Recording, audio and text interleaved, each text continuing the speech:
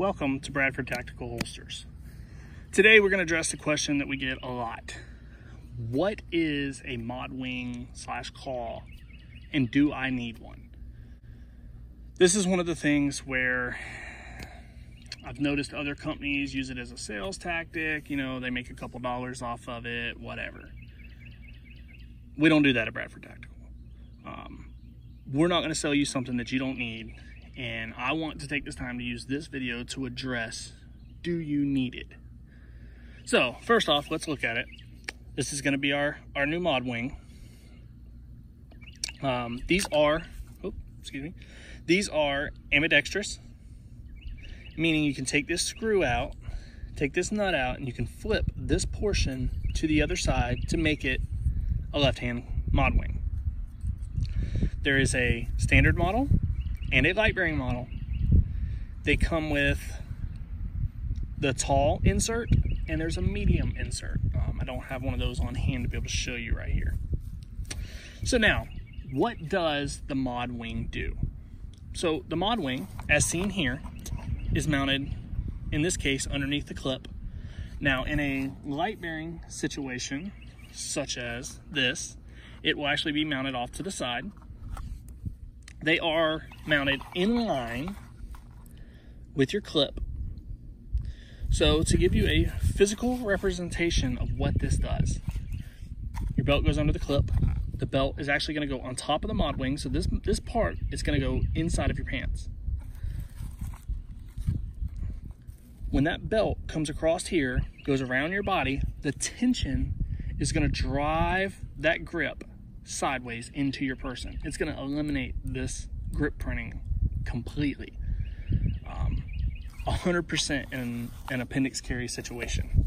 And we will be posting some pictures and further videos to go more in depth and detail of how this works, pictures with and without it.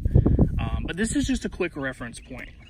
Um, if you're not carrying appendix, the claw is not going to help you. Um, in fact, if you're carrying it, say three o'clock, even four o'clock, the claw is actually going to cause some tension on your belt. It's going to cause your pants to be pulled away from your person and actually cause printing even more. I do not recommend them outside of appendix carry. Um, I, I, know people who carry them. I'm not saying it can't be done. When you start getting around more around say 5:30 in the back, 5 5:30, um, they do have somewhat of a benefit, but at that point they're they can be real cumbersome and hard to put on because you can't quite see back there. And, and I, I really recommend that if you're not carrying appendix that, that you go without it. Um, now, that said, I'll, I'll, build your gear any, any way you'd like, but um, now these are mold injection. You're not gonna have to worry about them breaking or any of that.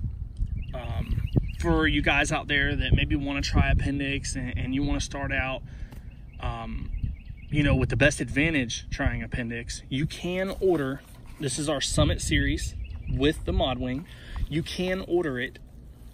And if you decide that you don't like it, all that's got to be done is two spacers be put in place of the claw. So you can, you can actually take the overhook off, take the claw off, put your two spacers in and put your clip back on without it.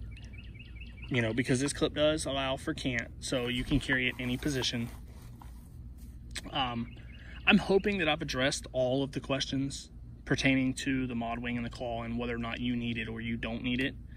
If I have not, feel free to comment below. Let me know. I will make future videos. We are planning a full video about nothing but appendix, appendix carry, all of our appendix line, um, the mod wings, what they do, what they don't do. It'll also be covering the wedge that you can see here um, and, and how it affects your appendix carry. But but for this video specifically, I just want to address those who don't know what it is and whether or not you need it.